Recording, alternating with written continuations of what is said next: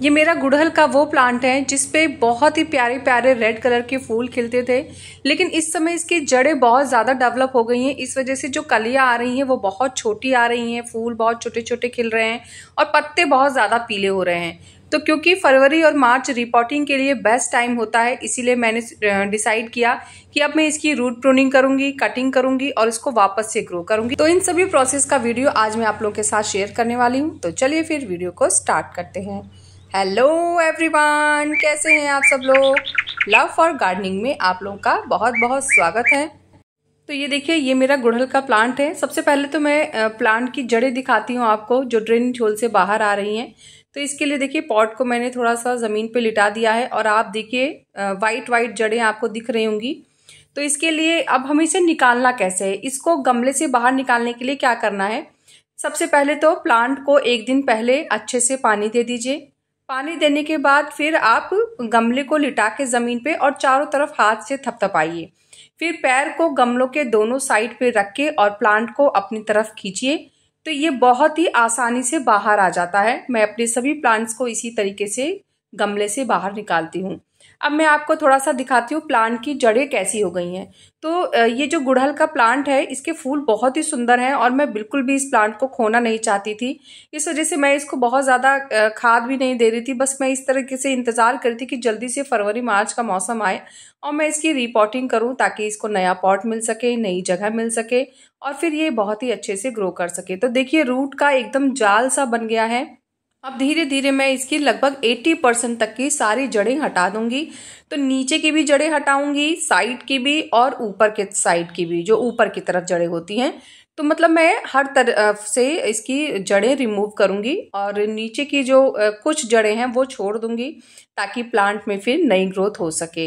ये देखिए जड़ें एकदम बहुत मोटी हो चुकी हैं और एकदम जाल सी बन चुकी हैं। तो जड़ों को रिमूव करते समय आप बिल्कुल भी ना डरे क्योंकि प्लांट पहले से ही काफ़ी स्ट्रांग है और हम बिल्कुल सारी हट, जड़ें नहीं हटा रहे हैं।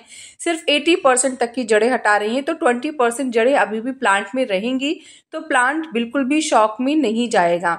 बस ये है कि जो बहुत नज़दीक वाली जड़ें होती हैं जो प्लांट की स्टेम से जुड़ी होती हैं उनको बहुत ज़्यादा रिमूव नहीं करना है। अगर आप नर्सरी से गुड़हल का प्लांट लेके आ रहे हैं तो उसको जो मिट्टी देंगे, वो आप ऐसी दीजिएगा जिसमें पानी ज़्यादा देर टिके ना। तो इसके लिए आप यहाँ पे 50 परसेंट नॉर्मल गार्डन की सॉइल इस्तेमाल कर सकते हैं और इसमें 30 परसेंट आप वर्मी कंपोस्ट या गोबर की खाद जो भी आपके पास है, वो मिला दीजिए और 20 परसेंट इसमें आप रेत मिलाइए। तो इससे जो मिट्टी होगी ना, उसमें भुरभुरापन बना रहेगा, वो पानी को बहुत ज़्यादा देर तक होल्ड नहीं करेगी। और साथ ही साथ मतलब ऐसा भी नहीं होगा कि पानी आपने दिया और एकदम छन के निकल गया बाहर। तो ये जो मिट्टी होगी, ये गुड़हल के पौधे के लिए सबसे अच्छी होगी। तो जो मिट्टी मुझे मिली है मेरे प्लांट से, मैं उस मिट्टी का भी इस्तेमाल करूँगी। इसीलिए मैं जो मोटी जड़ें हैं, बारीक जड़ें हैं, वो सब कोशिश कर रही हूँ कि सारी हटा दूँ। जितनी जड़ें आप रिमूव कर सकते हैं, उतना ही अच्छा होगा। मिट्टी खाली रहेगी तो ज़्यादा बेटर होगा। तो मेरी मिट्टी प्लांट की काफ़ी भुरभुरी है और मैंने बहुत ही अच्छी मिट्टी अपने प्लांट को तैयार करके दी थी तो इसलिए मैं नई मिट्टी नहीं ले रही हूँ। वापस से इसी मिट्टी का इस्तेमाल करूँगी। बस ये है कि जब मैं प्लांट को रिपोर्ट करूँगी तो उसमें कुछ खाद दूँगी ताकि अच्छे से मिट्टी में और न्यूट्रिएंट्स वगैरह जो कम हो गए हैं, वो भर जाएँ और प्लांट की ग्रोथ पे भी अच्छा रिज़ल्ट मिले। तो चलिए, अब हम अपने प्लांट को रिपोर्ट कर लेते हैं। तो प्लांट को मैंने गमले के अंदर ही डाल दिया था। अब प्लांट को बाहर निकाल लेते हैं और इसकी कुछ जड़ें मैं और निकाल रही हूँ क्योंकि मुझे ये जड़ें अभी भी थोड़ी लंबी दिख रही थी। तो इसीलिए मैंने डिसाइड किया कि थोड़ी मिट्टी और थोड़ी जड़ें मैं अभी और इसकी रिमूव करूँगी। उसके बाद फिर मैं इसे पॉट में लगाऊँगी। तो आप चाहे तो यहाँ पे नया पॉट भी इस्तेमाल कर सकते हैं, पर मैं वही पॉट इस्तेमाल कर रही हूँ। और ये मेरा बारह इंच का पॉट है। गुड़हल के पौधे के लिए कम से कम 12 इंच का पॉट चुने और आप ज़्यादा से ज़्यादा 14, 16 इतना भी दे सकते हैं इतना सफिशियंट है। बस ये है कि जब 12 इंच का पॉट लेते हैं तो हर साल रिपोर्ट करना पड़ता है जैसे कि मुझे पर मैं इससे ज़्यादा बड़े गमले नहीं रख सकती। इसीलिए मैंने 12 इंच का पॉट लिया है। आप अपनी सुविधा के अनुसार पॉट का साइज़ चेंज कर सकते हैं। तो देखिए, मैंने लगभग पॉट के अंदर मिट्टी भर ली है और आधी मिट्टी मैंने पॉट में भर दी है और उसके बाद अब मैं अपने प्लांट को पॉट के अंदर डालूँगी। तो जब भी आप प्लांट के अंदर पॉट लगाएँ तो ध्यान रखें कि जो आपका प्लांट है, वो एकदम सेंटर में रहे। इससे क्या होता है, देखने में भी सुंदर लगता है, खाद पानी देने में भी आसानी रहती है।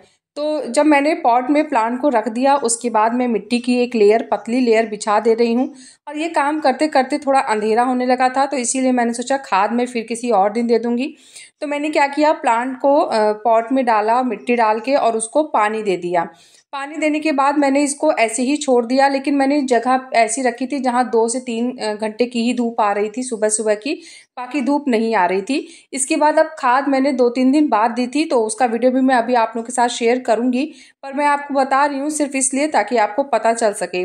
तो ये कम से कम दो से तीन दिन बाद का वीडियो है। प्लांट को मैंने ऐसे ही छाँव में रखा हुआ था और अब मैं उसे खाद दे रही हूँ।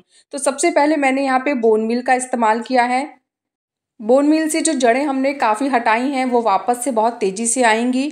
उसके बाद एक चम्मच मैंने यहाँ पे नीम की खली का इस्तेमाल किया है।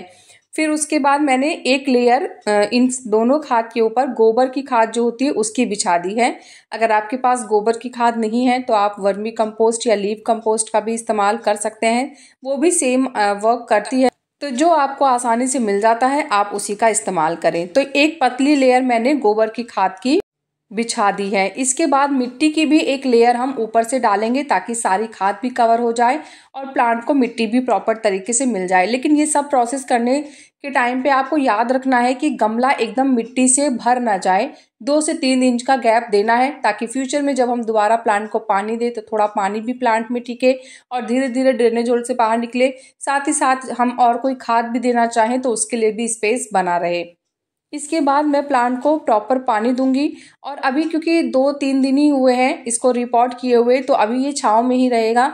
जैसे ही चार दिन कंप्लीट हो जाते हैं रिपोर्टिंग के, फिर मैं प्लांट को धूप में डालूँगी। तो आपको ऐसी जगह धूप में रखना है प्लांट को जहाँ कम से कम छः घंटे की धूप प्लांट को मिले। वैसे तो फुल सनलाइट देंगे तो भी बहुत ही अच्छे से ग्रो करता है, लेकिन कम से कम पाँच से छः घंटे की सनलाइट अगर आप देंगे तो ही फूलों की क्वांटिटी बढ़ेगी, नहीं तो फूल अच्छी मात्रा में आपको नहीं मिलेंगे, कम धूप और ज़्यादा पानी। ये दो चीज़ें गुड़हल को बिल्कुल पसंद नहीं है तो इन दोनों का विशेष ध्यान रखना है। पानी इतना दे कि हल्की सी नमी मिट्टी में बनी रहे और धूप इतनी दे कि प्लांट में खूब फूल आए।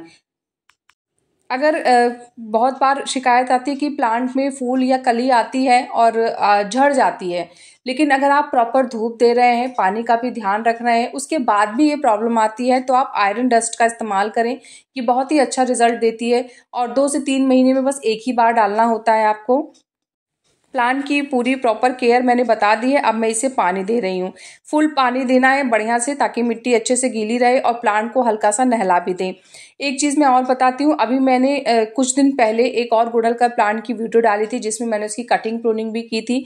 तो अगर आपने वो वीडियो नहीं देखा है तो मैं आई बटन पर लिंक लगा दूँगी, आप देखिएगा।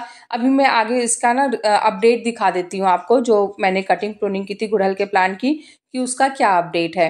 इससे आपको आइडिया लग जाएगा और अगर आपने वो वीडियो नहीं देखी है तो आप देखेंगे तो आपको ये भी पता चलेगा कि कटिंग प्रोनिंग कैसे करनी चाहिए। इस वाले प्लांट की कटिंग प्रोनिंग मैंने पहले ही कर दी थी, इसलिए इस वीडियो में वो आप लोग के साथ नहीं शेयर किया है। लेकिन कटिंग कैसे करनी है अगर वो जानना है तो फिर पुरानी वीडियोस देखिएगा। चलिए अब मैं आपको अपडेट दिखा देती हूँ। तो अपडेट में ये देखिए, जो ऊपर से मैंने देखिए तीन स्टेम्स थी ना, तीनों की कटिंग कर दी थी और अब आप साइड से देखिए छोटी छोटी सी ग्रोथ आनी शुरू हो गई है।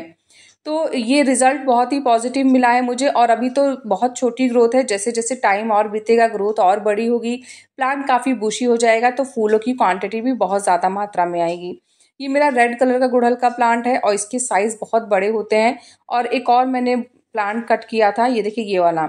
तो इसकी भी कटिंग प्रूनिंग की थी, ये सफ़ेद रंग के गुड़हल आते हैं इसमें, और ये भी बहुत प्यारा है। तो क्या होता है ना कि जितनी मल्टीपल ब्रांचेस होती हैं, उतनी ही ज़्यादा फूलों की क्वांटिटी भी बढ़ जाती है।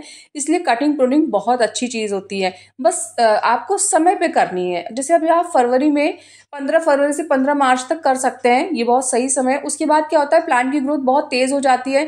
फिर बाद में जब उसमें फूल, कलियाँ आने लगती हैं तो बहुत तकलीफ़ होती है उसको कटिंग करते हुए। तो इसलिए इस समय कटिंग प्रूनिंग रूट प्रूनिंग सब कुछ कर दीजिए तो प्लांट बहुत ही अच्छे से पूरा गर्मी फूल ही फूल देने वाला है। तो पौधे से संबंधित सारी जानकारी बता दिए, इसके बाद भी कोई क्वेश्चन कोई कंफ्यूजन होगा तो आप कमेंट करिएगा। कैसा लगा मेरा आज का ये वीडियो मुझे ज़रूर बताइएगा। अगर आपको वीडियो पसंद आया है तो वीडियो को लाइक करिएगा चैनल को सब्सक्राइब करिएगा। मिलते हैं फिर नेक्स्ट वीडियो में, तब तक के लिए बाय टेक केयर